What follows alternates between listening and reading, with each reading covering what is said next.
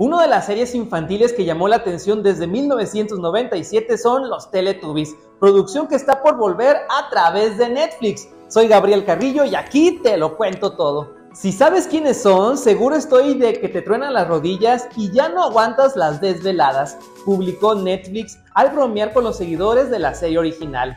Tinky, Winky, Dipsy, Lala y Po regresan a la pantalla chica y lo harán con nuevos amigos. Entre ellos, quien más resalta es Titus Burgess, un actor que comenzó su carrera en Broadway antes de llegar al cine con diversas interpretaciones de numerosas películas. El estreno de la nueva versión de la serie infantil está programado para el 14 de noviembre de este año, según dio a conocer la plataforma de streaming por medio de redes sociales. Titus Burgess será el narrador que siempre acompaña a los coloridos personajes en sus aventuras descubriendo el mundo.